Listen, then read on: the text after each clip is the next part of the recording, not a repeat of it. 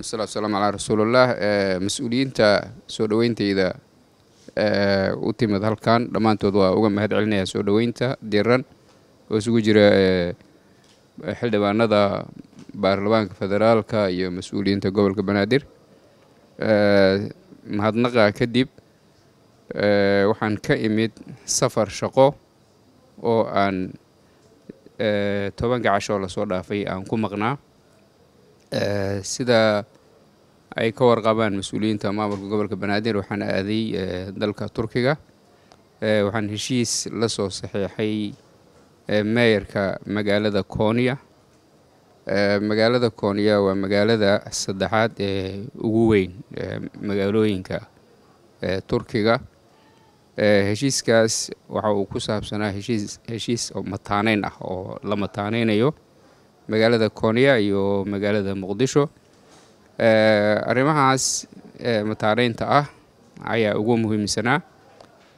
Waxyaabaha aan rabnay inaan iska kaashano way fara badan yihiin balse waxaa annaga muhiimad gaara noo leh oo mataqaanaa aan si gaara u danaynaynay inay gacan naga siiyaan xagga maareynta qashinka iyo suwejka public transportationka ama gaadiidka dadweynaha iyo diiwaangelinta bulshada ama civic registration ayaa ka mid ahaa.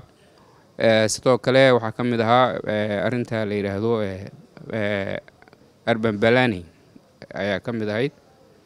Marka adigu qodobo dhowr ah oo dhammaantood muhiim noo ah ayaan la saxiixanay meeyarka isaga ah waxaan rajaynaynaa marka heshiiskaasi sida u dhacay inuu fuli doono wakhtiyada soo socda haddii alla idmo.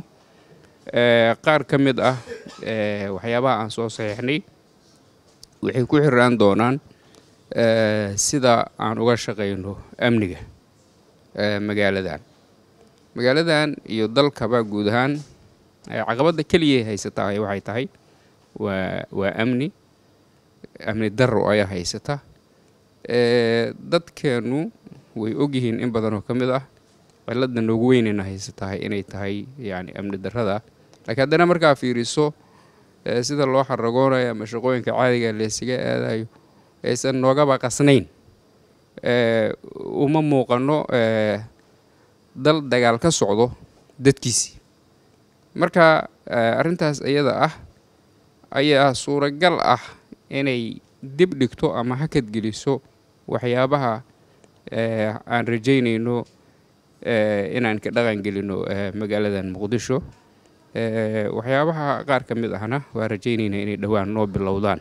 Marka bulshada soomaaliyeed iyo madaxda ay khusayso yacni amniga dalka yacni inaan arrintaa iska kaashano oo dalkeenan aan ka dhigno dal amni ah ayaa muhiimadda ay tahay.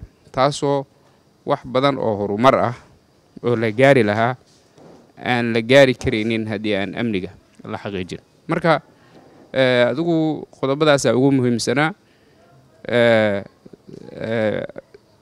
kadib shirka konya waxaan soo maray magaalada istanbul oo aan saddex maalmood soo joogay. Sidaas ayaan halkan ku soo noqday maantay marka safarkaygu sidaasuu ahaa safar guuleeduu ahaa waa rajaynayaa in marihiisii mar dhow noo bilowdaan. Wabilahi towfiq wasalaamu calaykum waraxmatullah